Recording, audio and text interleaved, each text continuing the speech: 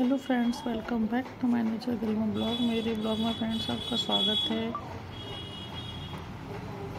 तो ये बनाए हैं हमने मटर के पराठे, एकदम खस्ता और नरम।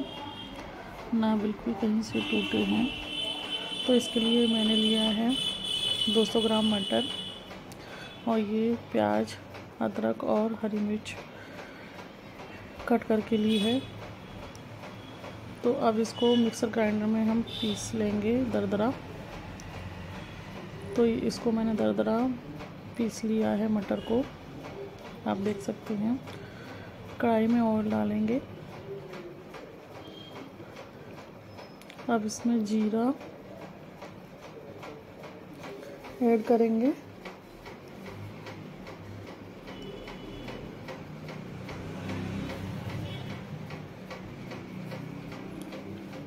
जीरा थोड़ा सा भुन जाएगा, अब उसमें सौंप ऐड करेंगे। तो दोनों अच्छे से भुनने लगे हैं। अब इसमें हरी मिर्च, अदरक और प्याज ऐड कर देंगे।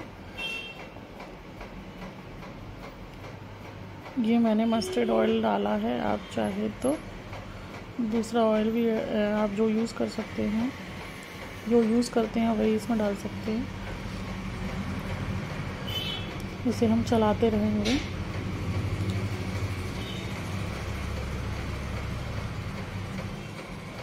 इस तरह से अगर मटर के पराठे गाइस आप बनाओगे तो आपके पराठे फटेंगे नहीं। अब इसमें हम इसे गोल्डन होने तक थोड़ा सा कच्चापन निकल जाए, जब जब तक हमें सारी चीज़ों को अच्छे से पकाना है। तो फ्रेंड्स धीरे धीरे ये अच्छे से पक गई है। अब इसमें हम थोड़ा सा टू टेबल स्पून के बराबर इसमें बेसन ऐड करेंगे। ये मैंने बेसन लिया है, क्योंकि बेसन अभी इसलिए डाला है क्योंकि ये प्याज और हरी मिर्च अदरक के साथ अच्छे से पक जाएगा। ये कच्चा बेसन लिया है मैंने। आप चाहे तो भुना हुआ बेसन डाल सकते हैं, लेकिन इसमें भुने हुए बेसन की आवश्यकता नहीं है। इस टाइम डाल दोगे तो आपका बेसन अच्छे से भुन जाएगा ऑयल के साथ, मटर के साथ। क्योंकि मटर को, अब हमने इसमें मटर डाल दी है। मटर को भूनने के लिए ही तो हम ये प्रोसेस कर रहे हैं। इससे मटर भी अच्छे से भुन जाती है, मटर का कच्चापन चला जाता है। अब इसमें सारे मसाले मैं ऐड कर दूँगी फ्रेंड सबसे पहले मैंने हल्दी पाउडर, फिर नमक अब इसमें लाल मिर्च ऐड कर देंगे।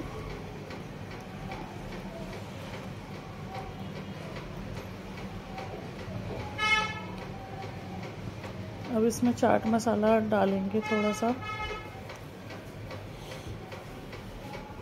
तो ये चाट मसाला ऐड कर दिया है मैंने।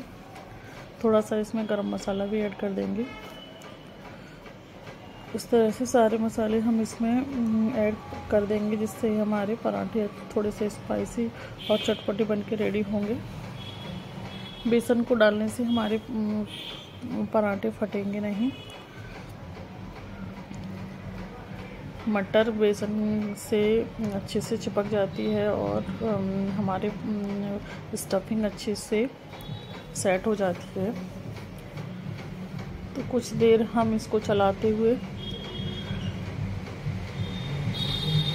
बेसन को अच्छे से भून लेंगे और पकाएँगे। फिर इसको हम थोड़ी देर के लिए ढककर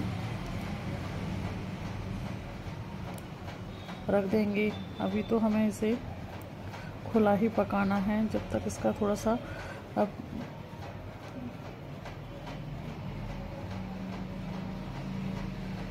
अब इसको हम ढककर पकाएँगे फ्रेंड्स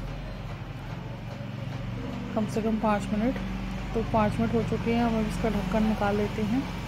आप देख सकते हैं, इसका कलर भी एकदम चेंज हो गया है। और हमारी स्टफिंग बन के रेडी हो चुकी है। अब इसमें धनिया पत्ती ऐड कर देंगे। तो स्टफिंग हमारी बन के एकदम रेडी हो चुकी है, पराठों में डालने के लिए।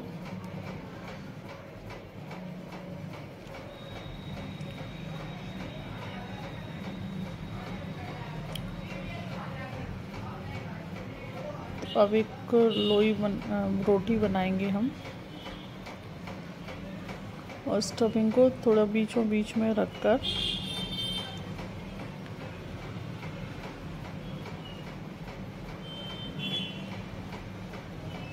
ट्रायंगल शेप का पराठा हम बनाएँगे।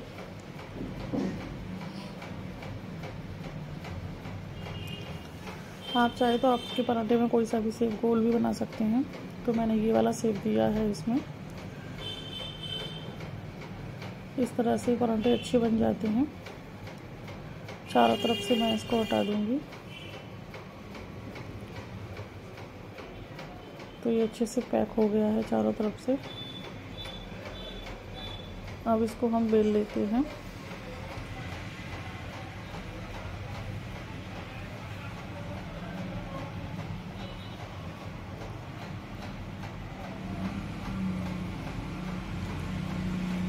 पराठा बन के हमारा रेडी हो चुका है।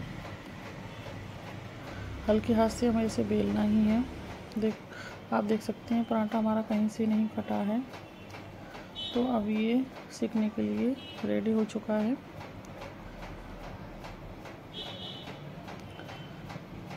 अब इसको हम उलटते पुलटते हुए अच्छे से ऑयल लगा देंगे।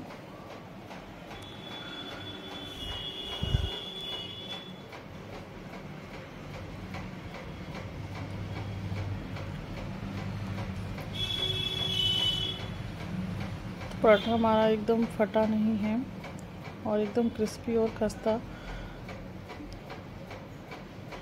सिक्का रेडी हुआ है। कहीं से कहीं तक बिल्कुल नहीं फटा हुआ है। तो इस प्रोसेस से आप बनाएँगे फ्रेंड्स तो आपके मटर के पराठे बिल्कुल नहीं फटेंगे।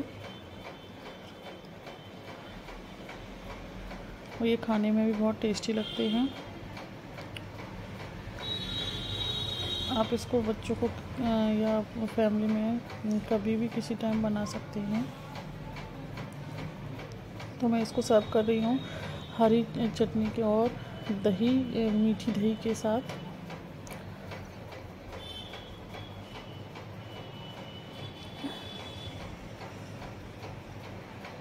इसमें नमक, चाट मसाला और मिक्स किया हुआ है मसाला, वो मैं इसमें ऐड कर दूँगी दही में और साथ में थोड़ा सा हरा धनिया भी इसमें डाल दूँगी।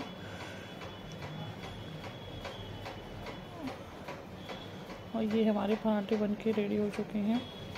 आप देख सकते हैं कितने खस्ता और क्रिस्पी बने हैं। तो निकाल के भी दिखा देती हूँ इसकी स्टफिंग कितनी अच्छे से सेट हो चुकी है इसमें। दोनों पार्ट अलग अलग दिख रहे हैं। तो फ्रेंड्स वीडियो आपको पसंद आई हो तो एक लाइक